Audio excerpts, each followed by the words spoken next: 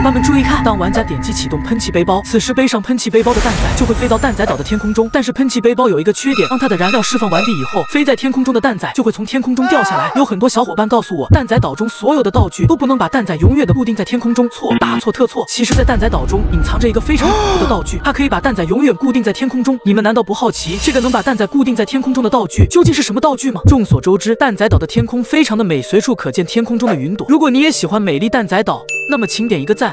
根据我和学姐的研究，我们发现蛋仔就算乘坐蛋仔岛中的飞机载具，也是不能永远被固定在天空中的飞机，它也会累，它会落在地面建筑物的楼顶上露台上休息。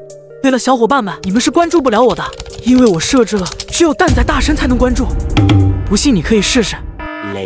那么，能把蛋仔永远固定在蛋仔岛天空中不会掉下来的道具究竟是什么道具？今天我和学姐在蛋仔岛的商店中发现了这个恐怖道具，它就是喜羊羊丢出的黑色炸弹。小伙伴们仔细看，灰太狼被喜羊羊丢出的黑色炸弹直接炸飞到了天空中，并且我和学姐发现，灰太狼被炸飞到天空中以后再也就没有掉下来，它被固定在了蛋仔岛的天空中。所以很显然，在蛋仔岛中隐藏着一个非常恐怖的黑色炸弹道具。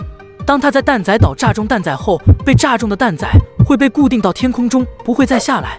而这个道具就是喜羊羊丢出的黑色炸弹。小伙伴们，你们知道了吗？